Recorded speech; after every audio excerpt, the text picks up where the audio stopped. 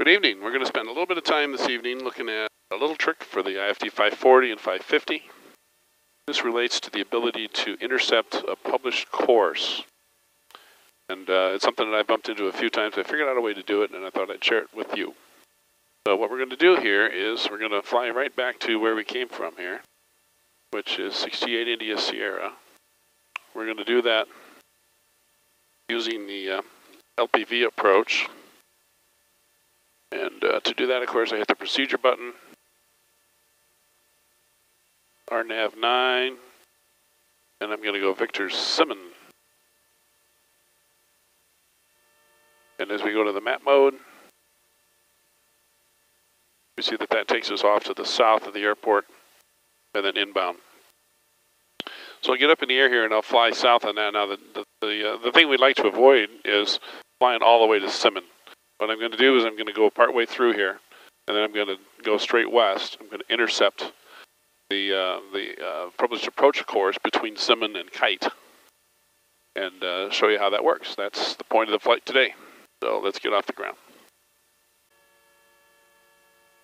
Go ahead and film the takeoff just for fun. Everything looks good, altitude. Oh, the sun just went behind a cloud.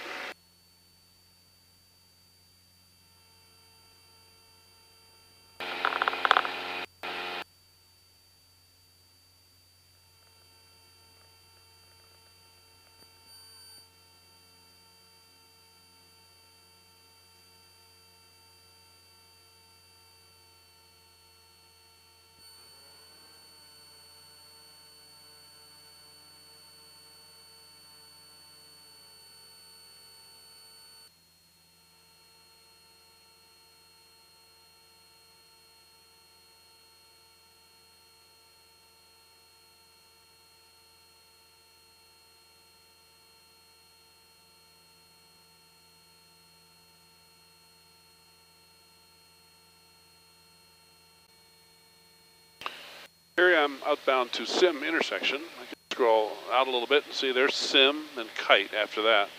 And uh, what I'm trying to do here is rather than go all the way out to Sim and then come all the way back to Kite, I just want to cut the corner. So what's the best way to do that? If, if I just go direct Kite right now, it'll draw a line directly to Kite and I'll have a really bad intercept angle and I won't be on a published uh, segment of the approach course. So what I want to do is I want to go west until I do intercept the published approach course and then turn inbound to kite. So what's the best way to do that? Well, it's a two-step process. First, I'm going to turn off GPS steer. I'm going to heading mode. And then in heading mode, I'm going to just go straight west. So as we can see, we're going to turn to straight west. I might even turn a bit more.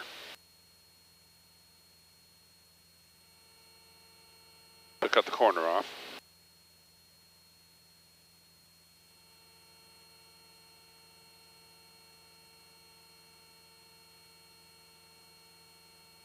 All right, maybe a little it a 90 degree turn. That'll help with my uh, intercept angle. So as you can see, we can get a pretty good idea what our intercept angle is going to be.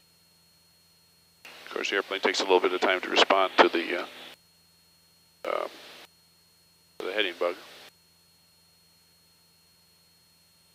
Okay, so now I've kind of got the idea. I'm going to come up and intersect this published approach leg coming up here. So how do I do that? Well, the trick is um, I go to FMS mode, and I roll over to kite intersection, and I hit direct. And you see what it does is it paints me a, a, a plan for getting to kite. I can go in here and zoom a little bit. If I were to roll this right now, it would change um, my destination. It would change my flight FMS listing selection. But I could go in with my touch here, and I can zoom in on it. Now I just watch this line, because as I go closer and closer to this published approach course, it keeps re repainting what the GPS steer topography would be, or a, um, a plan would be. So I just hold here, I just hold until it says that I'm going to overlay the published approach course. I'm going to get started now. Go to GPS mode, GPS steer mode, and it starts turning me onbound, inbound. And when I finally become inbound, as you know, as you can see by the, the course line, it's going to be directly over the published uh, the published leg on the uh, instrument approach there. Now I can go back to map mode here and, uh, and zoom in and watch it, or I can watch in match mode down here and watch here on the synthetic vision with the flight plan as it wraps around the corner. Now in that mode, of course, there's not much to see because we're going a little bit outside the radius of the um, of the turn, but um, it'll catch up on that. GPS steers nice like that.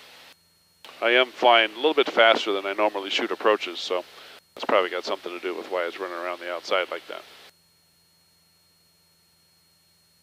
And you know, in hindsight, I could have started a little bit earlier and then repunched it again from here.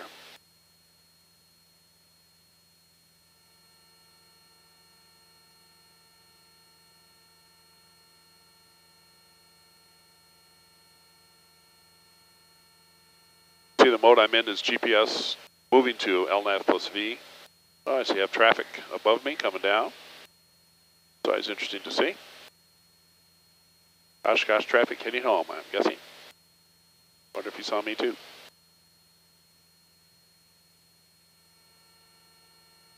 Draw out a little bit. We can see kite coming in, and we can see the inbound leg.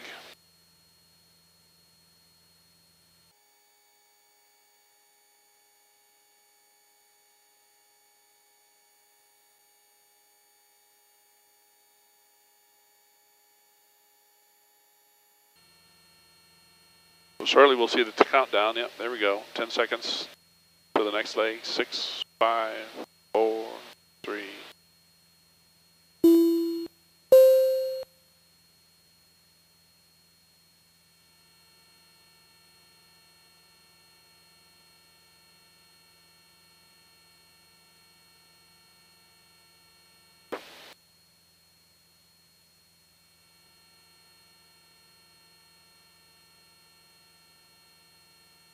Just illuminated the next leg. I have switched my autopilot, which is an STEC 60-2. I've switched it over to nav mode, and it is now armed glide slope, which uh, it has to be established on the localizer course for 10 seconds for glide slope to arm. It's already armed. Now, what's sort of interesting here is I can flip over here to the uh, uh, synthetic vision view, and now that it's armed for the approach, I've got my left, right, and up, down, my glide slope uh, display showing here. You notice the little green airplane there is, is busily tracking back to the, uh, the um, course, the inbound approach course. So that's, uh, that's actually the analog autopilot doing its soft capture that we're seeing in terms of the heading. The heading is being selected now by the analog autopilot, again doing soft capture. Uh, the, the GPS in this case, rather than guiding with the GPS steer, is just uh, showing uh, my ground track compared to uh, what it knows to be my position and my um, tended ground track. So that's a nice way for the digital side of this house to be um, validating the uh, analog side of the house. Of course, we still have our left-right needle here, and uh, that's that's given me uh, my indications as to where I should be going. I also have the same left-right needle on my Aspen. So we're at 2,600 feet, which is the uh, a little bit 50 feet high. Um,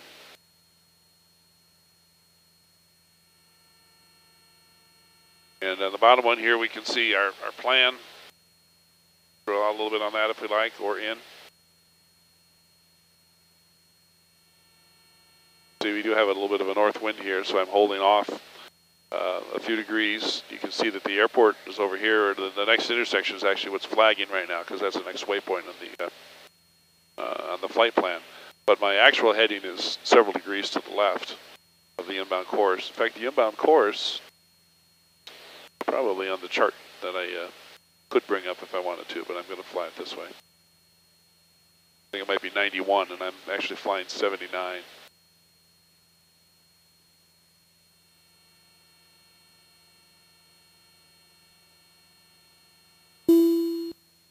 Says it's going to start down in 876, which is all good to know.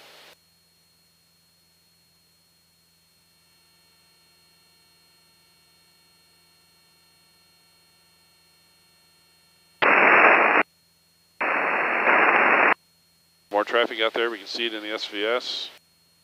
Uh, have to scroll out to see it here in the plan form. Yeah, there's one here, there's one there. This one's at the same altitude, right by the airport, zero zero. So he might be in the pattern, headed to the northwest. Oh, he's going down. I do have my headlight on along with all of my anti-collision. And we're starting down. I'm going to low pull some power because uh, otherwise I'm going to get going real fast here. But it's visually correcting down. I also don't have any drag out. I'm going to put 10 degrees of flaps out, which I can do up to 130 knots. A Little drag going. That'll help me hold glide slope also. Got distracted by the traffic there.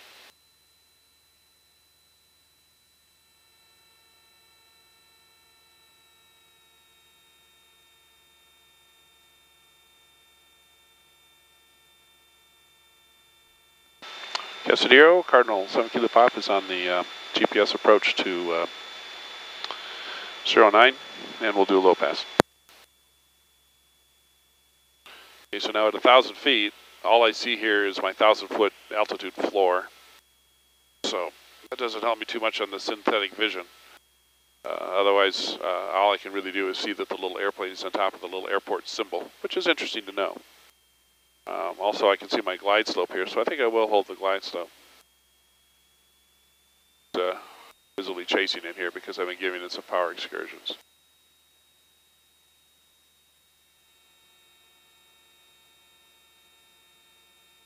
So this way lets me track my traffic too. There's one at 100 feet above. It's off the end of the runway pretty far now.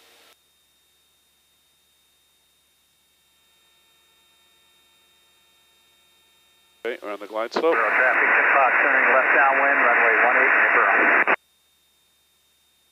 See the airport coming up there. The, air, the runway lights just flipped on. 500. A little bit of a shame that the airport and the, uh, the runway 09 and the little green airplane happen to be right behind the uh, the uh, glide slope tape there. So I am gear up, I have power flaps up. I'm going to go ahead and fly this down to um, just off the runway so we see how well it does. Well, there's 1,100 feet. That's 300 feet above ground.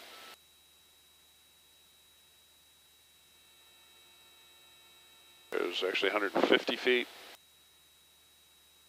So right at 150 feet where it does. Go around.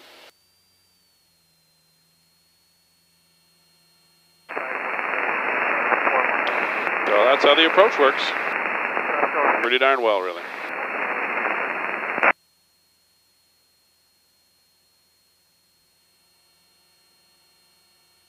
Pattern altitude. Running the pattern at 45 degree angle. Casadero, Cardinal, 7 to the pop. Joining the left downwind.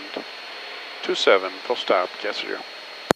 Beam the runway, second notch of flaps, pull the power, trim, trim, trim.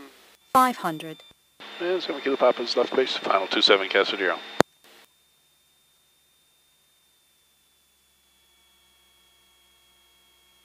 Got a green,